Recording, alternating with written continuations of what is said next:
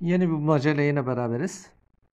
42 artı 12 45 64 artı 24 60 96 artı 36 90 168 artı 48 kaç eşittir? Bulmacamız dikkatlice incelediğimizde buradaki sayıların farklı ritminde gitti. Sadece şurada 12, 24, 36, 48 şeklinde gitti. Burada 15, 60, 30, 60. Acaba burada da e, daha fazla artacak mı? Yani iki katı olabilir mi? Buradan artış 15, burada artış 30. Burada acaba 60 olabilir mi? Şimdi bakalım ilk bileşene A diyelim, ikinci bileşene B diyelim. A ile B'nin toplamına bakacak olursak 42 artı 12 54. 54 ile 45 yerlerini değiştirsek olabilir. Fakat burada 64 ile 24'ü toplasak bu da 88 eder. Pek bir bağlantı gözükmüyor. Bunu böyle devam ettirebiliriz ama bir de farkına bakalım. A eksi B farkına. 42 eksi 12 buradan 30 bulduk. 30 ile 45 arası bir bağlantı var. 64'ten 24 çıkaralım. Buradan da 40 buluruz. 40 ile 60 arasında da evet bir bağlantı var. 96'dan 36 çıkaralım.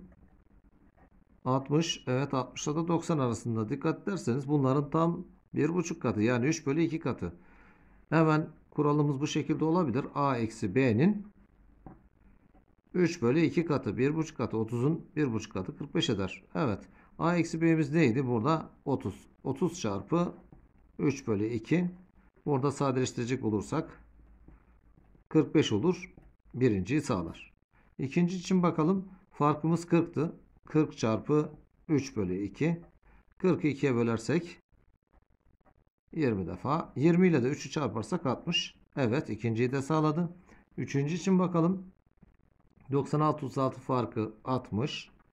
60 çarpı 3 bölü 2. 60 ile 2'yi sadeleştirecek olursak 30 eder. 30 ile 3'ü çarparsak 90 eder. Üçüncü de sağlar. Birinci, ikinci ve üçüncüyü sağladığı için bizim kuralımız doğrudur. Bizden istenene geldik. Burada hemen yapalım. 168 eksi 48'in 3 bölü 2 katı. 160'dan 148 çıkaracak olursak buradan 0 120 çarpı 3 bölü 2 olur. 120'yi 2'ye bölersek buradan 60 olur. 60'la da 3'ü çarparsak buradan 180 buluruz. 180 bulmacamızın doğru cevabıdır. Demek ki buradaki 60 işimizi görmedi.